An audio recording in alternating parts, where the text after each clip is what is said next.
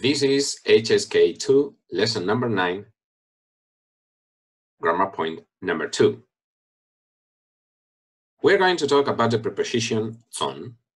We use this preposition to express the meaning from when we are talking about distance in space, distance in time, or a process. For example, to reach a goal, up to my goal, there's still a distance. So in this kind of context, we're going to use this 从. Let's see some uh, examples. The first one, 我从北京到上海. I go from Beijing and arrive to Shanghai, these two cities in China. Some other examples come from page number 69 in the book. The first one, 从北京到上海要坐几个小时的飞机 how many hours by plane from Beijing to Shanghai? The second one, 从老人到孩子喜欢吃苹果. From the elderly to children, all of them like to eat apples.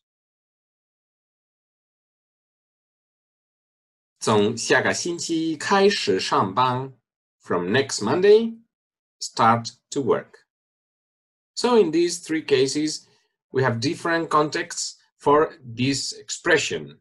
"Son," meaning from, a point in space, point to reach a goal, a purpose, or a point in time. Let's practice a little bit. From 2010 to 2017 are seven years. 从二零一六年到二零一七年有七年。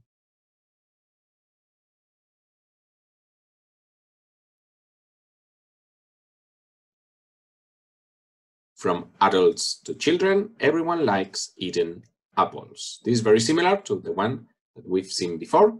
从老人到孩子 都喜欢吃苹果。Tomorrow we leave from home. 我们明天从家里出发。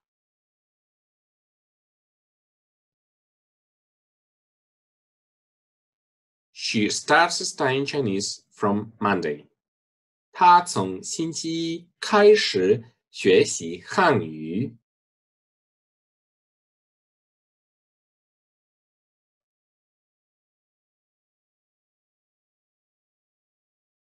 So with these examples, I hope that you understand much better this preposition, "son" from.